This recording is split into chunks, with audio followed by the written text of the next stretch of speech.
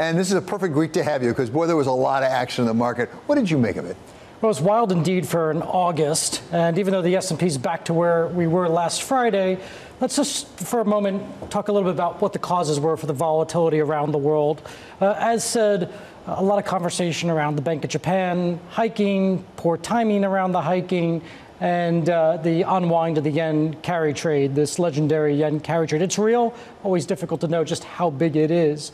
But what happened last week was that not only did the BOJ hike, uh, the Fed put on the table uh, the, the possibility of a cut in September. But then don't forget, we had that jobs report on Friday.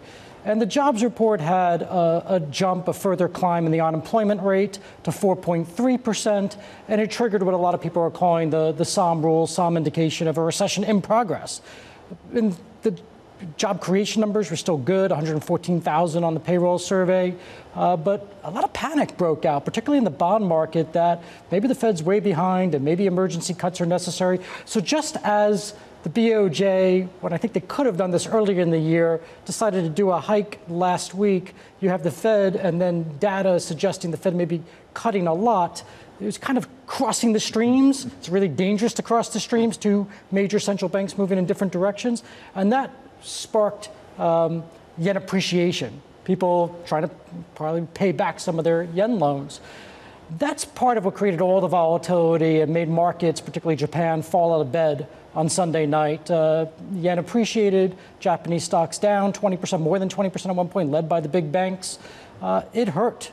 Uh, other global equity markets on Monday, but we've recovered. And there's more going on, though, than Japan during the week and last week. But, David, how much do you think was the markets and how much was the economy? I mean, you referred to recession possibility, and some of the banks started saying, well, we're taking up our probability of recession, something that last year we thought was a real probability, now not so much. Where are you on the probability of recession?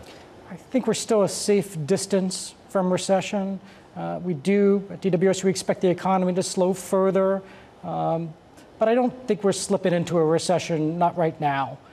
Um, what happened this week, late last week, I think is more about investors overreacting, sometimes putting words into policymakers' mouths about what they may be doing, uh, or maybe just overreacting to if you step in one direction, how much further you're going to go, whether it be hikes or cuts. Um, but there was this background of other concerns. We've had geopolitical risks. We've had investors take additional concern with what remains a weak economy in China and a weak manufacturing economy in Europe and still weak in the United States outside of data centers and chips.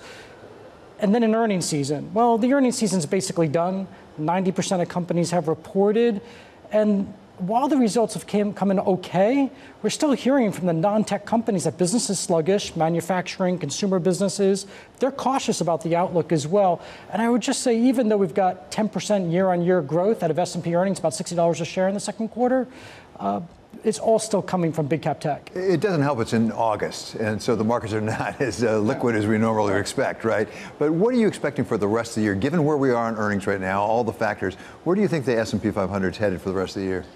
I think markets going to stay volatile. Markets can be volatile, particularly any day, any week. By the way, options and futures markets can be even more volatile. I think the volatility is with us. We've been shaken by some of the events that, that broke out, and I think that those risks and those concerns, particularly the election and the uncertainty for what that means for taxes and tariffs, and I think investors want to see some election outcome that keeps taxes low and prevents tariffs from going higher.